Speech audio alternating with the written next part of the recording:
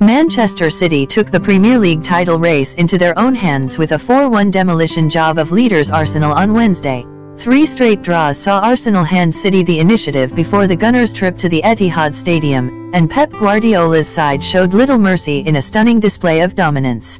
Kevin De Bruyne came to the fore, scoring either side of John Stones' header, which City's playmaker teed up. Rob Holding snatched a consolation late on, but Erling Haaland ensured he had the last word with a goal that saw him break the record for goals in a 38-game Premier League season, as City made their point.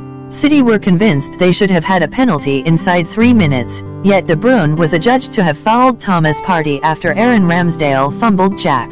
Grealish's cross. De Bruyne was wheeling away in celebration soon after, though, having latched on to Haaland's superb touch, the Belgian beat Ramsdale with a sublime finish into the bottom right corner.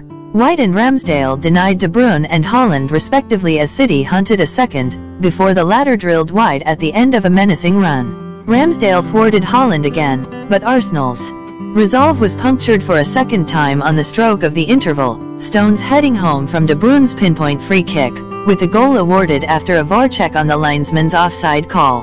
Haaland's battle with Ramsdale continued after the break, and Arsenal's goalkeeper again came out on top with a superb one-on-one save.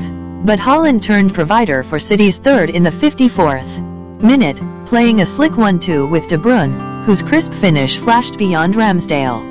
Partey lashing out at Grealish's taunts was as close as Arsenal came to laying a glove on City before Holding curled home with four minutes remaining. Haaland, though, got his goal with the final kick of the game, as City emphatically took matters into their own hand.